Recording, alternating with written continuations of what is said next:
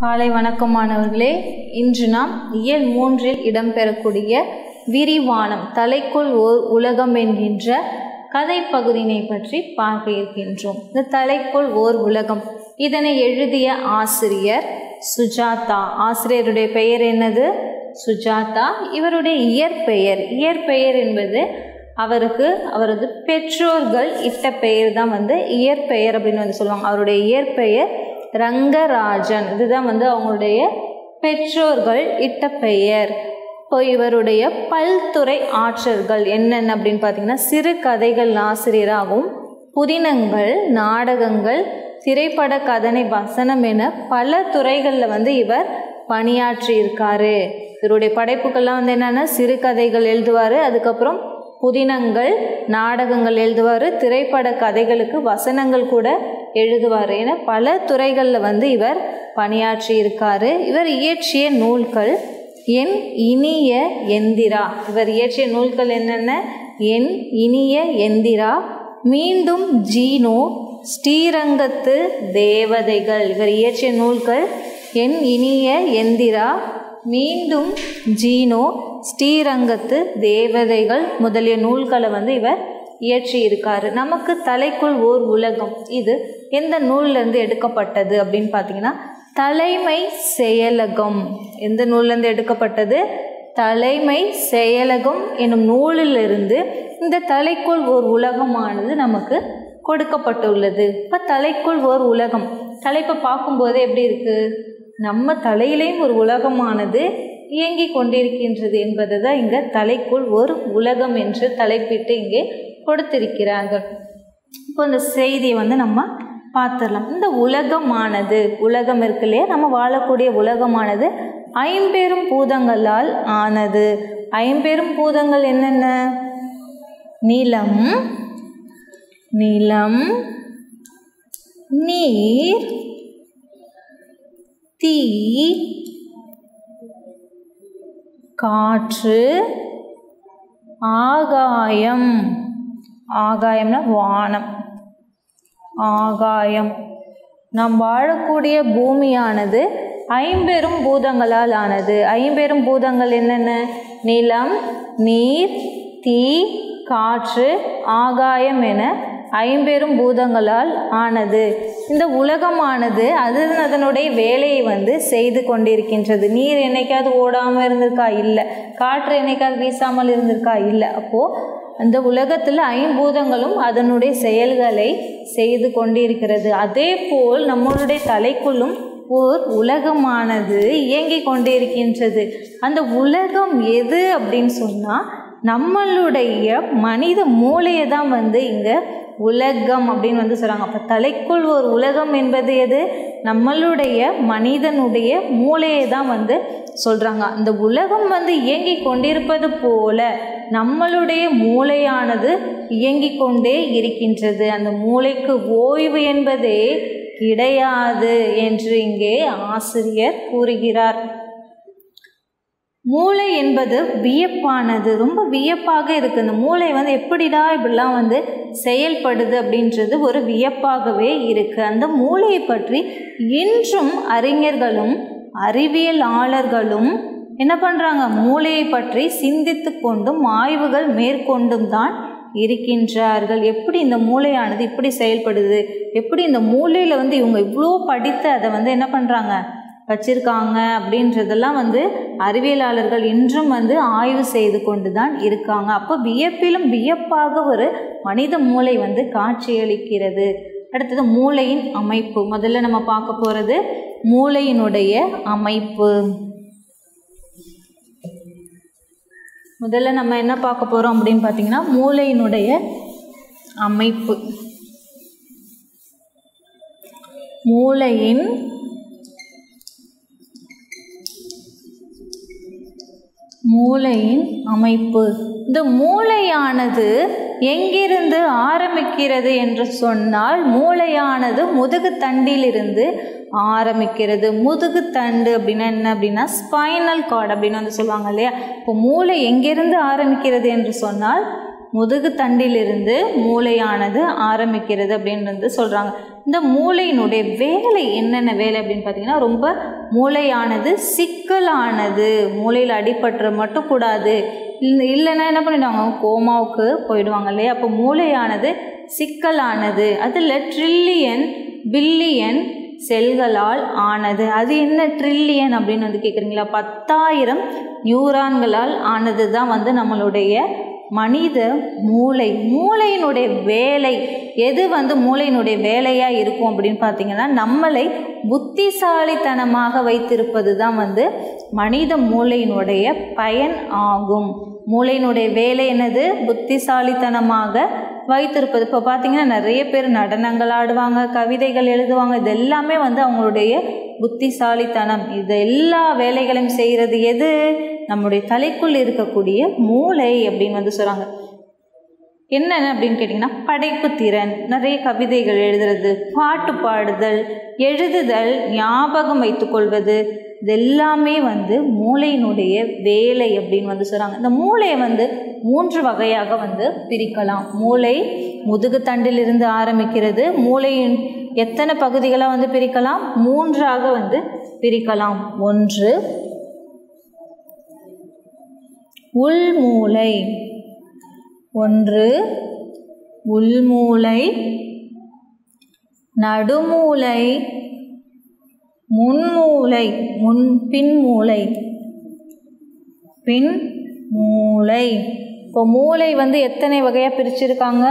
உள்மூளை நடுமூளை பின்மூளை என்று மூன்று பிரிவுகளாக மூளையானது பிரிக்கப்பட்டுள்ளது. இந்த முன் மூளையில் வந்துட்டு நமக்கு மூக்கு மூக்கு கண் இதனுடைய முடிவுகள் வந்து எங்கே இருக்குது அப்படின்னு பார்த்தீங்கன்னா முன் மூளையில் தான் வந்து இருக்குது அப்படின்றத சொல்கிறாங்க அடுத்தது சிறுமூளை வந்து நம்ம உடலில் உள்ள அசைவுகளையும் உணர்ச்சிகளையும் வளர்ச்சியையும் வந்து கட்டுப்படுத்துகின்றது. முன்மூலையில் வந்து எதனுடைய முடிவுகள் இருக்குன்னு சொல்கிறாங்க மூக்கு கண் இதனுடைய முடிவுகள் வந்து முன் மூலையில் இருக்குது சிறு மூளை வந்து நம்ம உடலுடைய அசைவுகள் கைகளை வந்து ஆட்டுறோம் இல்லையா? அப்போ அசைவுகள் இப்போ முள்ளு குத்திட்டுனா நமக்கு வலியானது ஏற்படுகின்றது. அந்த உணர்ச்சிகள் இது எல்லாத்தையும் வந்து கட்டுப்படுத்துறது எது அப்படின்னு பார்த்தீங்கன்னா நம்மளுடைய சிறு மூளையானது கட்டுப்படுத்துகின்றது அப்படின்றாங்க. இப்போ எடுத்துக்காட்டுக்கு ஒரு குடத்துல வந்து நம்ம என்ன பண்ணுறோம் தண்ணி பிடிக்கிறோம். தண்ணி பிடிச்சோடனே அந்த குடமானது என்ன பண்ணுது? அப்படியே நிரம்பிடுது. அதை நிரம்பின உடனே நம்ம என்ன பண்ணுவோம்? அதை ஆஃப் பண்ணணும். அதுதான் வந்து நம்ம செய்யக்கூடிய வேலை. ஆனால் இந்த மூளையானது அப்போது செயல்படலை அப்படின்னு சொன்னால் நம்ம என்ன பண்ணுவோம்? ஒரே இடத்துல அப்படியே நம்ம நின்றுக்கிட்டே தான் நம்ம இருப்போம். யார் வந்து கூப்பிட்டாலும் நம்ம அதே இடத்துல நின்றுக்கிட்டு தான் இருப்போம். இதெல்லாம் வந்து எது வேலை வந்து செய்யுது அப்படின்னு பார்த்தீங்கன்னா இந்த மனித மூளையானது இந்த வேலையை செய்யுது. அப்போ மனித மூளை செயல்படலை அப்படின்னு சொன்னால் நம்ம தண்ணி பிடிக்கிறோம் குடம் நிறைஞ்சிருச்சு. எடுன்னு சொல்கிறது எது அப்படின்னு பார்த்தீங்கன்னா நம்மளுடைய மனிதனுடைய மூளை தான் அப்போ அந்த மூளையானது செயல்படலை அப்படின்னு சொன்னால் நம்ம அதே இடத்துல தான் நிற்போம். இப்போ நிறைய விபத்துகள்லாம் வந்து ஏற்படுது. அப்போ மூளையில் அடிபட்டு மூளையானது என்ன ஆகிடும்? செயலிழந்து விட்டுரும். அப்போ நிறைய நாட்களாக அவங்க என்ன இருப்பாங்க? கோமா ஸ்டேஜ்லேயே வந்து இருப்பாங்கன்னு வந்து சொல்லுவாங்க இல்லையா? அப்போ அதனால தான் அவங்களுக்கு வந்து என்ன பண்ணுறாங்க தற்கொலை முயற்சிலாம் வந்து எடுத்துக்கிறாங்க. அடுத்தது நம் மூளையினுடைய கட்டளைகளால் தான் இயங்கி கொண்டிருக்கிறோம். நாம் செய்யக்கூடிய வேலைகள் வந்து எதனால் ஏற்படுது அப்படின்னு பார்த்தீங்கன்னா மூளையினுடைய கட்டளைகளால் தான் வந்து இயங்கி கொண்டிருக்கின்றது. அதை தான் வந்து என்ன பண்ணுவாங்க மூளை வந்து செயல்படலை அவங்க வந்து படுத்தே இருக்காங்க அப்படின்னு சொன்னால் அவங்கள வந்து என்ன பண்ணுவாங்க கருணை கொலை வந்து செய்துடுவாங்க. அப்போ மூளை வந்து செயல்படல அவங்க எந்த செயலுமே அவங்களுக்கு இருக்காது. எந்த இயக்கம் உடல் இயக்கம் உணர்ச்சி எதுவுமே வந்து இருக்காது. அப்படியே படுத்த படுக்கையில் தான் வந்து இருப்பாங்க. அப்போது அதனால தான் வந்து என்ன பண்ணுறாங்க மருத்துவர்கள் வந்து கருணை கொலை வந்து செய்து விடுகின்றார்கள். அப்போது நம்மளுடைய உடலில் வந்து மிக முக்கியமானது நம்மளுடைய மனித மூளை தான் அதனால தான் என்னன்னு சொல்கிறாங்க நம்ம ரோட்டில் வந்து போகும்போது சாலைகளில் வந்து போகும்போது பயணம் செய்யும்போது இருசக்கர வாகனங்களை இயக்கும் போதும் தலையில் வந்து ஹெல்மெட் வந்து மாட்டணும் அப்படின்னு வந்து சொல்கிறாங்க அதனால தான் தலைக்கவசம் உயிர் கவசம் அப்படின்றத சொல்கிறாங்க அப்போ நம்ம என்ன பண்ணணும்? இப்போ இவ்வளோ நாளாக நம்ம எப்படி போனோமோ அதெல்லாம் வந்து கிடையாது. இப்போ நம்ம என்ன பண்ணணும்? தலைக்கவசம் வந்து அணிந்து கொண்டு தான் செயல்பட வேண்டும். இந்த பாடத்தை படித்ததுக்கப்புறமாவது நம்ம என்ன பண்ணணும்? அதை நம்ம கடைப்பிடிக்கணும். அடுத்தது மூளையினுடைய உணவு. மூளைக்கு என்ன உணவு? உணவுன்னு சொன்னோன்னே நீங்கள் என்ன நினச்சிப்பீங்க? மூளைக்கு சாம்பார் சாதமோ தயிர் சாதமோ அந்த பசி வந்து ஏற்படலை. அந்த மூளைக்கு என்ன பசியானது ஏற்படுகின்றது என்று சொன்னால் உயிர் வலி. உயிர் வலி என்பது ஆக்சிஜன். உயிர் வலி என்பது எதனை குறிக்கின்றது? ஆக்சிஜன். அப்போது மூளைக்கு ஒரு நிமிடத்திற்கு எத்தனை மில்லி லிட்டர் ரத்தம் தேவை அப்படின்னு சொன்னால் எட்நூறு மில்லி லிட்டர் ரத்தமானது நம்மளுடைய மூளைக்கு வந்து தேவைப்படுகின்றது. எட்நூறு மில்லி லிட்டர் ரத்தமானது நம்மளுடைய மூளைக்கு தேவைப்படுகின்றது. குருதி அப்படின்னு சொன்னால் ரத்தம். இப்போ மூளை வந்து ஒன்றில் வந்து ஐம்பது பங்காக இருக்குது மூளையானது நம்மளோட உடலில் ஒன்றிலிருந்து ஐம்பது பங்காக இருக்குது அதுக்கு குருதி உயிர்வலி ஆகியவற்றின் மொத்த தேவை இல்லை குருதியும் தேவை ஆக்சிஜன் உயிர் வலியும் தேவை. அதனால் வந்து அது நம்மளுடைய உடலில் உள்ள ரத்தத்தை ஒன்றில் ஐந்து பாகத்தை வந்து எடுத்துக்கொள்கின்றது அப்படின்னு வந்து சொல்கிறாங்க மூளையினுடைய கிலோ மூளையினுடைய வெயிட் அப்படின்னு பார்த்தீங்கன்னா ஒன்று புள்ளி முப்பத்தி ஆறு கிலோகிராம் மூளையினுடைய கிலோ எவ்வளவா? மூளையினுடைய மூளையின் கிலோ. கிலோ ஒன்று புள்ளி முப்பத்தி ஆறு கிலோகிராம் அப்போது நம்மளுடைய மூளை வந்து சிறு பகுதியாக வந்து இருந்தாலும் அதுக்கு ஒரு நாளைக்கு எட்நூறு மில்லி லிட்டர் ரத்தத்தை வந்து அது எடுத்துக்கொள்கின்றது. அப்போ வந்து நமக்கு என்ன ஆகணும்? ரத்த ஓட்டமானது இருந்து கொண்டே இருக்க வேண்டும். அந்த ரத்த ஓட்டம் மூளைக்கு சரியாக போகலை கிடைக்கல அப்படின்னு சொன்னால் நமக்கு என்ன ஏற்படும்? மயக்கமானது ஏற்படும். இப்போ மயங்கி என்ன பண்ணிடுவாங்க? போய்கிட்டே இருப்பாங்க கொஞ்சம் தூரம். பார்த்தீங்கன்னா மயங்கி விழுந்துருவாங்க. அப்போ மூளைக்கு தேவையான ரத்த ஓட்டமானது அங்கே சரியாக வந்து போகலை. அப்போ உடனே என்ன பண்ணுவாங்க? உயிர் வலி ஆக்சிஜன் தேவை. ஆக்சிஜன் தான் ரத்த ஓட்டம் நல்ல சீராக ஓடும். உடனே என்ன பண்ணுவாங்க? அந்த கூட்டத்தில் உள்ளவங்களாம் அவங்க காற்று விடுங்க அப்படின்னு சொல்லிட்டு என்ன பண்ணுவாங்க? காற்றுலாம் வந்து விசிறுவாங்க இல்லையா? இப்போ உயிர் வழி தேவைன்றது இங்கே சொல்லியிருக்காங்க.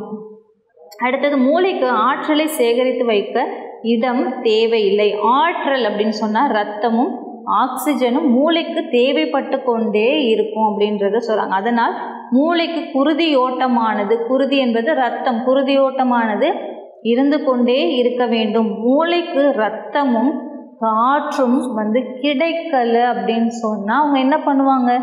மயங்கி கீழே விழுந்துருவாங்க. ஏன்? மூளைக்கு தேவையான ரத்தமும் கிடைக்கல உயிர் வலி ஆக்சிஜனும் கிடைக்கலன்னா அவங்க மயங்கி விழுந்துருவாங்க. இப்போ உங்களுக்கு தெரியும் மயங்கி விழுவதற்கான காரணம் என்ன? அப்போ நம்மளுடைய மூளைக்கு ரத்தமும் கிடைக்கல ஆக்சிஜனும் கிடைக்கல அப்படின்னா நம்ம மயக்கம் ஏற்படக்கூடிய நிலை வரும். அதனால தான் கூட்டத்தில் என்ன பண்ணுவாங்க? காற்றை விடுங்க காற்றை விடுங்க அப்படின்னு வந்து சொல்லுவாங்க.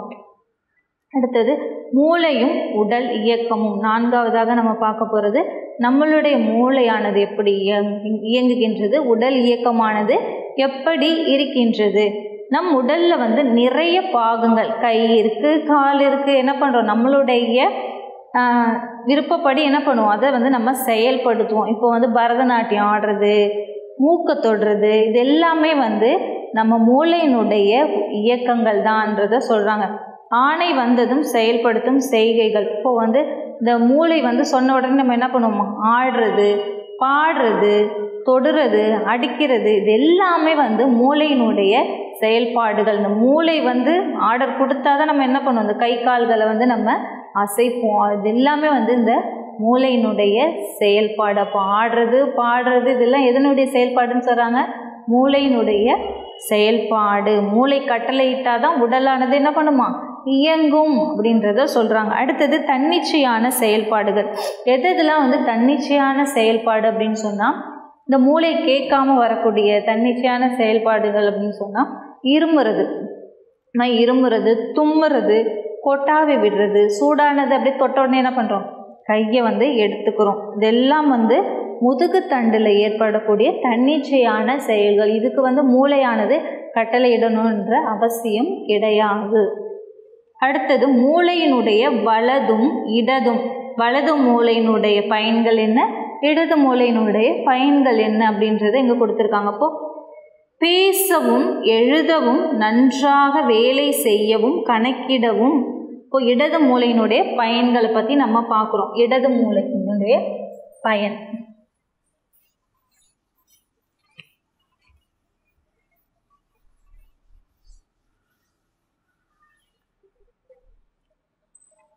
இடது மூளையினுடைய வேலை வந்து என்ன அப்படின்னு பார்க்கலாம்.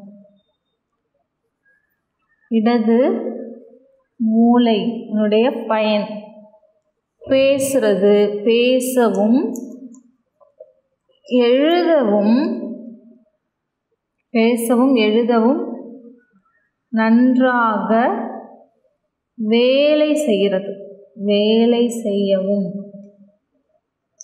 நம்ம பேசுகிறோம் இல்லையா? பேசுறது எழுதுறது வேலை செய்கிறது இதெல்லாம் வந்து இடது மூளையினுடைய செயல்பாடுகள் இதெல்லாம் எங்கேருந்து நடக்குது அப்படின்னா நம்மளுடைய மூளையில் உள்ள இடது மூளைகள் வந்து சொல்லி தான் நம்ம என்ன பண்ணுறோம் பேசுறது எழுதுறது கணக்கு போடுறது சிந்தித்து கவிதை எழுதுறது அப்புறம் வந்து படங்கள் வரைகிறது பிரச்சனைகளுக்கு வந்து தீர்வு காண்றது அப்புறம் சதுரங்கம். நிறைய பேர் வந்து செஸ் காம்படிஷன் அந்த செஸ்லலாம் வந்து விளையாட்டு போட்டியில் வெற்றி பெற்றவங்களாம் இருப்பாங்க இல்லையா?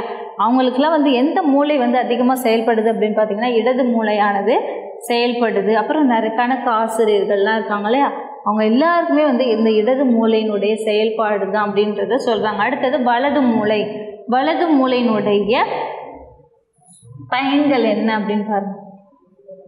வலது மூளை. கவிதை எழுதுவது. கவிதை எழுதுவது. வடிவங்களை உணர்வது. வடிவங்களை உணர்தல். இப்போ வலது மூளையினுடைய செயல்பாடுகள் வந்து என்னென்ன வடிவங்களை உணர்றது. வட்டமா இது சதுரங்கமா என்று வடிவங்களை உணர்றதும் கவிதை எழுதுறதும் படம் போடுறதும் நடனம் ஆடுவது நடிப்பது. நிறைய பேர் வந்து சினிமா துறையில் வந்து இருக்காங்க இல்லையா? நடிகர் நடிகர்களாக இருக்காங்க இல்லையா? அவங்களுக்கெல்லாம் வந்து எந்த மூளை வந்து அதிகமாக வந்து செயல்படும் அப்படின்னு பார்த்தீங்கன்னா வலது மூளையானது அதிகமாக செயல்படும். அதனால தான் அவங்க நடனத்துறையில் திரைப்படத்துறையிலலாம் வந்து ஒரு உயர்ந்த உச்ச நிலையை வந்து பெற்றவர்களாக இருக்காங்க. அவங்களுக்கு எல்லாருக்குமே வந்து இந்த வலது மூளையினுடைய செயல்பாடானது அதிகமாக இருக்கும். இடது மூளையினுடைய செயல்பாடுன்றது என்னது? பேசுறது எழுதுறது நன்றாக வேலை வந்து செய்கிறது கணக்கு போடுறது அப்புறம் கணக்காசிரியராக இருக்கிறது அப்புறம் வந்து செஸ்ஸு சதுரங்க போட்டியில் வந்து வெற்றி பெறுவது இதெல்லாம் உள்ளவங்களுக்கு வந்து இடது மூளையினுடைய செயல்பாடானது அதிகமாக இருக்கும். அடுத்தது மூளையும் உணர்வுகளும். நம்மளை வந்து எத்தனையோ உணர்ச்சிகள் வந்து இருக்குது கில்லுங்கிறது அப்புறம் வந்து என்னது? போயிட்டே இருக்கும்போது காலில் கையில் ஏதாவது குத்திடுச்சுன்னா என்ன பண்ணுவோம்? கைகளை வந்து எடுப்போம் இல்லையா? அது எல்லாமே உணர்ச்சிகள் வந்து நிறைய இருக்குது நம்மளுடைய உணர்ச்சிகள் வந்து நிறைய இருக்குன்னு வந்து சொல்கிறாங்க எடுத்துக்காட்டாக வந்து கோபப்படுறது பாசம் ஒருத்தவங்க மேலே அன்பு காட்டுறது வியப்பு வெறுப்பு என எத்தனையோ உணர்ச்சிகள் வந்து நம்ம உடலில் வந்து ஏற்படுது. இப்படி கோபமாக இருக்கும்போது இப்படி முறைச்சி பார்க்குறது அப்புறம் அழுகிறது இது எல்லாமே வந்து நம்மளுடைய உடலில் ஏற்படக்கூடிய உணர்ச்சிகள் அப்படின்னு வந்து சொல்கிறாங்க அந்த உணர்ச்சிகள் எல்லாம் வந்து எது காட்டும் அப்படின்னு சொன்னால் நம்மளுடைய முகமானது அதனை காட்டும் அப்படின்னு வந்து சொல்கிறாங்க மனிதனுக்கு மட்டும்தான் உணர்ச்சிகளை காட்டக்கூடிய திறமை உண்டு. அதாவது நமக்கு மட்டும்தான் நம்ம உணர்ச்சிகளை காட்டுவோம். இப்போ கோபப்படுறது சிரிக்கிறது அழறது இந்த செயல்கள் எல்லாம் வந்து மனிதன் மட்டும்தான் வந்து செயல் செய்வான் அப்படின்னு வந்து சொல்கிறாங்க ஆனால் விலங்குகள் வந்து ஏதாவது இதில் இரண்டு சில வேலைகளை மட்டும்தான் வந்து இந்த விலங்குகள் வந்து செய்யும் அப்படின்றத சொல்கிறாங்க எல்லா இயக்கங்களும் வந்து இருக்காது. கோபப்படுறது அழுகிறது சிரிக்கிறது இது எல்லாமே மனிதனுக்கு மட்டும்தான் இருக்கும். விலங்குகளுக்கு இதில் ஏதாவது இரண்டு சிறு பண்புகள் தான் வந்து இருக்குன்றத சொல்கிறாங்க மற்றபடி மனிதன் போல நவ ரசங்களையும் வந்து காட்ட முடியாது. முகத்தில் அழுறது சிரிக்கிறது கோபப்படுறது இது எல்லாமே வந்து மனிதனால் காட்ட முடியும். ஆனால் விலங்குகளால் ஏதாவது ஒரு இரண்டு செயல்களை தான் வந்து காட்ட முடியுன்றத சொல்கிறாங்க அடுத்தது மூளையும் நினைவாற்றலும். பிறந்த சில வருடம் முதல் வாழ்நாள் முழுவதும் பல செய்திகள் வந்து நமக்கு நினைவில் இருக்கும். நம்ம பிறந்ததுலேருந்து ஏதாவது சில ஞாபகத்தில் நம்ம வச்சுப்போம். சில செய்திகளை வந்து என்ன பண்ணுவோம்? ஞாபகத்தில் வச்சுப்போம். இப்போ கேட்டால் கூட நம்ம சொல்லுவோம் நான் அப்போ அப்படி இருந்தேன். இந்த மாதிரிலாம் நம்ம வந்து என்ன பண்ணுவோம்? பேசுவோம் இல்லையா? இது எல்லாமே வந்து மூளையினுடைய நினைவாற்றல் அப்படின்னு வந்து சொல்கிறாங்க மனித மூளை வந்து எப்படிப்பட்டது அப்படின்னு சொன்னால் கணிப்பொறி ஒரு கம்ப்யூட்டரும் ஒரு நூலகம் போன்றது மனிதனுடைய மூளை அப்படின்னு வந்து சொல்கிறாங்க அடுத்தது குறுகிய கால நினைவு. குறுகிய கால நினைவு என்று சொன்னால் குறுகிய காலத்தில் மட்டும் நமக்கு நினைவில் வர்றது தான் வந்து குறுகிய கால நினைவு. இது ரொம்ப நாளைக்கு வந்து இருக்காது. கொஞ்சம் குறுகிய காலத்தில் மட்டும்தான் இருக்குன்றாங்க இப்போ எடுத்துக்காட்டுக்கு ஃபோன் நம்பர் யாராவது கேட்டால் நம்ம என்ன பண்ணுவோம்? நம்மளுடைய ஃபோன் நம்பரை வந்து சொல்கிறது அப்புறம் நம்மளுடைய பெயர் இதெல்லாம் வந்து நம்மளுடைய குறுகிய கால நினைவு. அட்ரஸ்ஸு இதெல்லாம் நம்ம என்ன பண்ணுவோம்? அட்ரஸ்ஸு பெயர் கிடையாது. அட்ரஸ்ஸு ஃபோன் நம்பர் இதெல்லாம் வந்து நம்மளுடைய குறுகிய கால நினைவு. இதெல்லாம் நம்ம என்ன பண்ணுவோம்? கொஞ்ச நாள் தான் நம்ம ஞாபகத்தில் வச்சுப்போம். அதுக்கப்புறம் நம்ம மறந்துடுவோம் இதெல்லாம் வந்து மூளையினுடைய குறுகிய கால நினைவு அப்படின்னு வந்து சொல்கிறாங்க புதிய செய்திகளை உள்வாங்கும் போது நம்ம என்ன பண்ணுறோம் நம்ம நிறைய செய்திகளை வந்து கேட்டுக்கிட்டே இருக்கிறோம். படிக்கிற வயது தானே நமக்கு. அப்போ நம்ம என்ன பண்ணுவோம்? நிறைய செய்திகளை நம்ம உள்வாங்கிக்கிட்டே இருப்போம். அப்படி நம்ம செய்திகளை வந்து உள்வாங்கி கொண்டே இருக்கும்போது பழைய செய்திகள்லாம் வந்து இப்போ நமக்கு ஆறாவதில் படித்ததை வந்து ஏழாவதில் கேட்டால் நமக்கு ஞாபகம் இருக்காது. அப்போ நம்ம படிக்க படிக்க என்ன ஆகுதுதான் நம்மளுடைய பழைய நினைவுகள்லாம் வந்து கொஞ்சம் மறந்துடுதுன்றத சொல்கிறாங்க பழைய செய்திகள்லாம் மறந்துடும். அதில் வந்து நிலையான நினைவு எது அப்படின்னு பார்த்தீங்கன்னா திரும்ப திரும்ப வந்து ஒரு செய்தியை வந்து நினைத்து பார்ப்பது தான் வந்து நிலையான நினைவு. அடுத்தது மூளையும் அன்றாட நிகழ்வுகளும். தொண்ணூறு நிமிடங்களுக்கு ஒரு முறை நம் மனநிலையானது மாறிக்கொண்டே இருக்கும். சில நேரம் வந்து என்ன பண்ணுவான்? சிரிச்சிட்டே இருப்பான். அப்புறம் கொஞ்ச நேரம் பார்த்தீங்கன்னா கோபப்படுவான். அந்த மாதிரி நம்மளுடைய மனநிலையானது மாறிக்கிட்டே இருக்கும். தொண்ணூறு நிமிடங்களுக்கு ஒரு முறை மாறிக்கிட்டே இருக்கும் நம்மளுடைய மனநிலையானது அப்படின்றத சொல்கிறாங்க அடுத்தது கொஞ்ச நேரம் வந்து சுறுசுறுப்பாக இருக்கிறது. அப்புறம் பார்த்தீங்கன்னா கொஞ்ச நேரம் சுறுசுறுப்பாக இருக்கும் அப்புறம் பார்த்தீங்கன்னா கனவு காணுவான். இது எல்லாமே வந்து மூளையினுடைய நிகழ்வுகள். அப்புறம் பகல் இரவு இரண்டிலும் வந்து தூக்கம் இருபது வருடம் தூக்கம் மூன்று லட்சம் கனவு. இதெல்லாம் வந்து மூளையினுடைய அன்றாட நிகழ்வுகள். என்றதை சொல்லியிருக்காங்க. அடுத்தது மூளையும் கற்றலும் என்ற தலைப்பு பற்றி நம்ம பார்ப்போம்.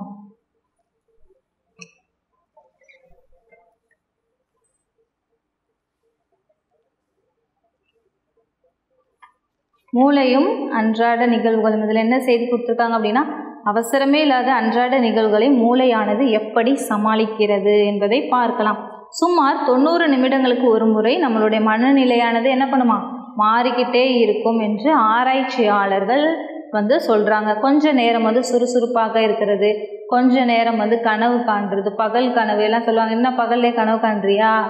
அப்படின்லாம் வந்து சொல்லுவாங்க இல்லையா? அதெல்லாம் வந்து மூளையினுடைய அன்றாட நிகழ்வுகள். இப்படி தான் நாம் மாறி மாறி வாழ்கின்றோம். பகலாக இருந்தாலும் சரி இரவாக இருந்தாலும் சரி. சராசரி மனிதன் தனது வாழ்நாளில் எத்தனை வருடம் வந்து நம்ம தூங்குகிறோம் சராசரியாக ஒரு வாழ்நாளில் எத்தனை வருடம் வந்து நம்ம தூங்குகிறோம் அப்படின்னு பார்த்தீங்கன்னா இருபது வருடம் வந்து நம்ம தூங்கிக்கிட்டே இருக்கோம். அதில் வந்து இருபது வருடம் நம்ம தூங்குறோம். அதில் நமக்கு எவ்வளோ கனவுகள் வந்து வருது அப்படின்னு சொன்னால் மூன்று லட்ச கனவுகள் வந்து வரும். எல்லா கனவையும் வந்து நம்ம என்ன பண்ண முடியாது? நினைவில் வைத்துக்கொள்ள முடியாது. இப்போ நைட்டில் வந்து நம்ம கனவு காணுவோம். பகலில் கேட்டால் அது மறந்து போயிடும். நினைவு போல் தூக்கமும் நம் நரம்புகளின் முக்கிய நிலையாகும். கனவு என்பது மனதில் உள்ள நினைவலைகளில் அன்றைய அல்லது சமீபத்திய நினைவுகளை வகைப்படுத்தி வரிசைப்படுத்தும் செயல் என்கின்றன. இந்த கனவு என்பது நம்ம வாழ்க்கையில் ஏதாவது வந்து இன்னைக்கு விளையாடி இருப்போம். இல்லை ஏதாவது நம்ம நினச்சிக்கிட்டே இருப்போம் பகலில். அது வந்து நமக்கு நைட்டு இரவு நேரங்களில் வந்து நடப்பது போல் இருக்கும். அதுதான் வந்து என்னன்னு சொல்கிறாங்க கனவு அப்படின்னு வந்து சொல்கிறாங்க அடுத்தது மூளையும் கற்றலும். மொழியை இலக்கண விதியின்படி பேசுவது மனிதனுக்கு உண்டான தனிப்பட்ட திறமை. மொழியை வந்து நம்ம என்ன பண்ணுவோம்? இலக்கிய முறையில் வந்து நம்ம பேசுவோம். நான் இன்று படித்து கொண்டிருந்தேன் அப்படின்னு வந்து இலக்கிய முறையில் வந்து நம்ம பேசுவோம். அது மனிதனுடைய வேலை. ஆனால் விலங்குகள்லாம் வந்து அப்படி பேசுமா? பேசாது. அது வந்து சிம்பன்சி போன்ற குரங்குகளுக்கு வந்து எப்படி தான் வந்து மன்றாடி சொல்லி கொடுத்தாலும் அந்த திறமையானது அந்த குரங்குகளுக்கு வந்து வரலை அப்படின்னு வந்து சொல்கிறாங்க அடுத்தது நாம் சட்டை போட்டுக்கொள்வது சைக்கிள் ஓட்டுறது ஸ்பூனால் சாப்பிடுவது ஆகியவை எல்லாம் அனுபவ அறிவுன்றதை சொல்கிறாங்க இவற்றையெல்லாம் நாம் எப்படி கற்கிறோம் என்று ஆராய்ச்சியாளர்கள் இன்றும் வந்து என்ன பண்ணுறாங்களாம் ஆராய்ச்சியை வந்து தொடர்ந்து கொண்டே இருக்கிறாங்க. எது எப்படியோ கற்பது நம்மளுடைய மூளையில் உள்ள மாறுதல்களை வந்து என்ன பண்ணுமா? ஏற்படுத்தி கொண்டே இருக்கும். நம்ம எவ்வளோக்கு எவ்வளோ வந்து கற்றுக்கொண்டே இருக்கிறோமோ அதற்கு ஏற்ற மாதிரி நம்மளுடைய மூளையினுடைய எடையும் வந்து கூடிக்கொண்டே இருக்கிறது என்பதை வந்து ஆசிரியர் இங்கே கூறியிருக்கின்றார். இதுதான் நமக்கு தலைக்குள் ஓர் உலகம் என்ற விரிவானத்திலிருந்து கொடுக்கப்பட்ட செய்திகள். நாம் மற்றொரு வகுப்பில் பார்ப்போம். நன்றி.